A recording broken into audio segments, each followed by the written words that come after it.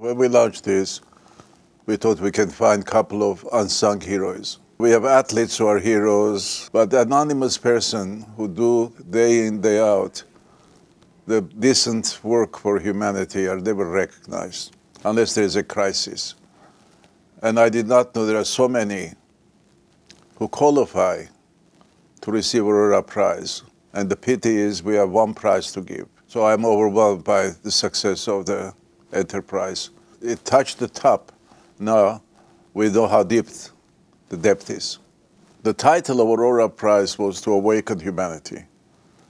My hope is that there will be all other auroras in other cultures so that you don't need outsiders to come and discover you.